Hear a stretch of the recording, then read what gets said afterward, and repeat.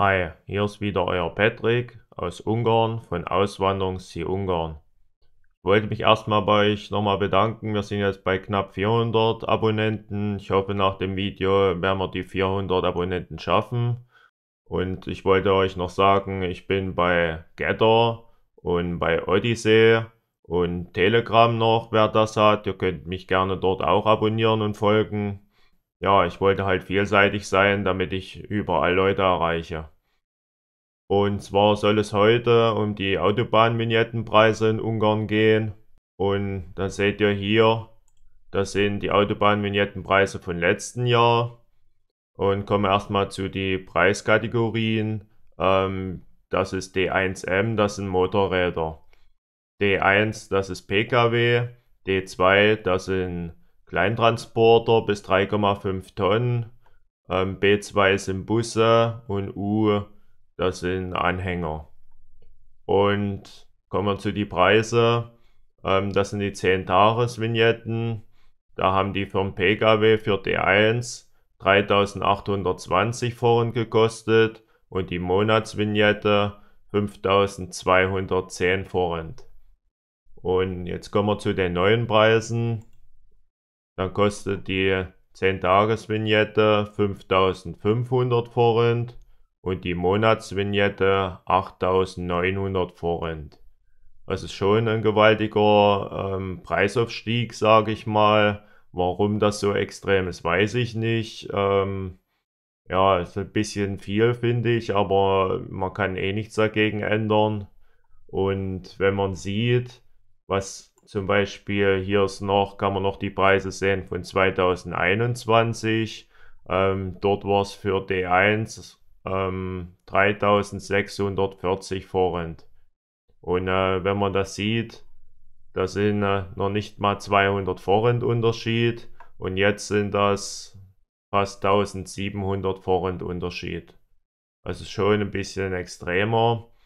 Ähm, ja, wenn man für die Transporter noch sieht, ähm, die 10-Tages-Vignette 7630 Forint und die Monatsvignette 10.420 Forint und schaut die neuen Preise an, dann sieht man 8000 Forint für die 10-Tages-Vignette und für die Monatsvignette 12.400 Forint.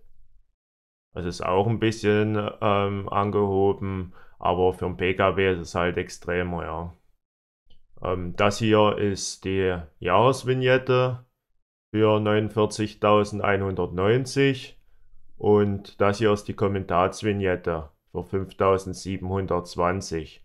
Also wer, sage ich mal, eine Wohnsitzkarte hier hat, beziehungsweise ähm, das Auto halt ähm, umgemeldet ist mit ungarischen Kennzeichen, der kann sich die Kommentarsvignette holen das zählt halt nur für ein Kommentar, aber dann kann man sich ja mehrere zusammenholen, wenn man mehrere braucht, beziehungsweise wenn man nur ein Kommentar braucht, das zählt ja fürs Jahr, also von 1. Januar bis das andere Jahr, den 31. Januar. Und dann kommt man besser weg, ja. Das ist dann fast so viel wie für eine 10-Tages-Vignette. Ja, wie gesagt, ich wollte euch jetzt erstmal die Preise so zeigen ähm, damit ihr wisst, wenn ihr nach Ungarn kommt, ähm, was ihr bezahlen müsst, wie die Preise jetzt ähm, gestiegen sind. Man weiß nicht, ob die nächstes Jahr dann nochmal steigen. Ähm, dann habe ich für euch noch eine Seite, zum Beispiel vom ADAC. Da habe ich jetzt mal so grob die Route, also ich hatte noch ein paar mehr Kilometer, aber so grob die Route, wie ich fahren musste. Ähm, ich habe jetzt mal Dresden eingegeben und dann Bayer. Ähm, ja, da sind, seid ihr bei knapp 10 Stunden unterwegs. Ähm, das sind fast 800 Kilometer. Und hier unten seht ihr circa, was ihr braucht für Spritkosten oder sowas. Also ich würde ein bisschen mehr mal einplanen, das ist klar. Und hier unten seht ihr dann die Vignetten. Zum Beispiel die tschechische Vignette 12,66 Euro für 10 Tage. Ähm, die slowakische Vignette 12 Euro und die ungarische umgerechnet 14,56 Euro. Und dann wisst ihr schon mal Bescheid, ähm, was das euch alles kostet. Ähm, ich habe so gemacht, weil es ist preiswert. Also wenn ihr jetzt zum Beispiel nach Tschechien fahrt und holt euch dort alle drei ähm, Vignetten, das ist teurer. Die Tschechen, die nehmen dann einen Aufschlag drauf.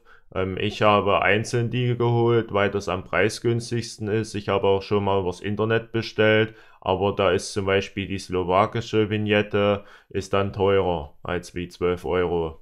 Und äh, wie gesagt, ich bin einmal in Tschechien habe ich angehalten, habe mir eine geholt. Dann habe ich in äh, der slowakischen Grenze habe ich mir eine geholt und dann auf der ungarischen Grenze noch eine. Aber wenn ihr nach Ungarn kommt, ähm, nicht gleich das erste, wo ihr denkt, ihr könnt um, also euch die Vignette holen, sondern so 200, 300 Meter weiter, da kommt ein Parkplatz und dort, weil vorher, das sind Slowaken, die nehmen auch ein kleines bisschen noch Aufschlag.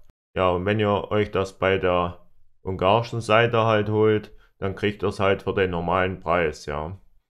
Und ja, so wisst ihr jetzt erstmal Bescheid, was die Vignetten so kosten.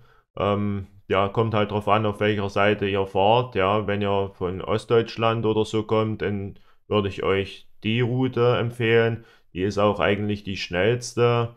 Ähm, kann man am besten fahren.